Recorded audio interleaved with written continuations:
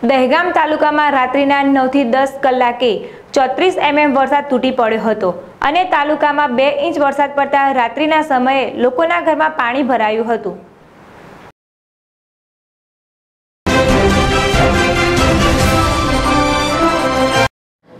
ગાંધીનગર જિલ્લાના દેગામ તાલુકામાં ગઈ રાત્રિએ નવ વાગે વાવાઝોડા સાથે ધોધમાર વરસાદ તૂટી પડતા લોકોના ઘરોમાં પવનના સુસવાટા સાથે ઘરોમાં પાણી ઘૂસી ગયા. અને તાલુકા અને શહેરના નીચાણવાળા વિસ્તારોમાં રાત્રિના સમયે લોકોને નીકળવાની ભારે તકલીફ પડી હતી અને તાલુકાના ગ્રામ્ય વિસ્તારોના મુખ્ય માર્ગો ઉપર લીલા વૃક્ષો ધારાશય થઈ જતા. કેટલાક વાહન ચાલકો વાર ચાલુ વરસાદમાં હેરાન પરેશાન થવા પામ્યા હતા.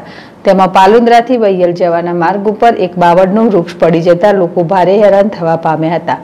આમ રાત્રિના નવથી દસના સમયગાળામાં ચોત્રીસ એમએમ વરસાદ તૂટી પડ્યો હતો. અને રાત્રિના સમયે કુલ બે ઇંચ વરસાદ નોંધવા પામ્યો છે. અને આમ દેગામ તાલુકાના મોસમનો આઠસો બ્યાસી એમએમ વરસાદ થવા પામ્યો છે.